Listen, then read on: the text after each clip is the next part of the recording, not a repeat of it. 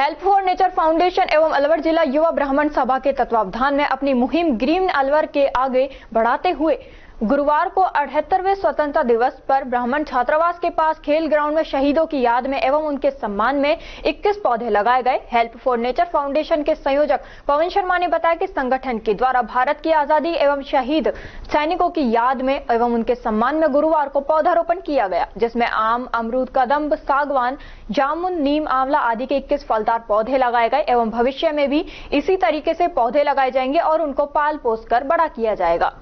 संगठन के द्वारा पूरे शहर में लगातार अलग अलग जगहों पर पौधारोपण किया जा रहा है। पंडित विवेकानंद शर्मा ने बताया कि इसी क्रम में स्वतंत्रता दिवस पर शहीद भगत सिंह स्मारक पर भारतीय नौसेना से सेवानिवृत्त अफसर मनीष शर्मा के हाथों से 501 दीपक प्रज्वलित करवाकर आज़ादी का पर्व मनाया गया। कार्यक्रम में पवन शर्मा, संगठन संयोजक पंडित विवेकानंद शर्मा, अध्यक्ष अलवर जिला युवा ब्राह्मण सभा, मनीष शर्मा, रुद्रराज नरेंद्र सोनी, सत्यनारायण, रिक्की टोंगड़ा, रतनदीप भारद्वाज, कोयल, प्रमोद मित्तल, रेखा सैनी, सचिन सैनी, एलिस सैनी, दीपक शर्मा, उमेश कुमावत, लवी शर्मा, सुनील कुमार, पल्लवी राजपूत, गजेंद्र, सुनील प्रजापत, हेमंत शर्मा, रेशम माताजी गौरव शर्मा, अश्विनी ज्वाली, साहिल शर्मा, अमित शर्मा, सुनील शर्मा ओम प्रकाश शर्मा आदि उपस्थित रहे।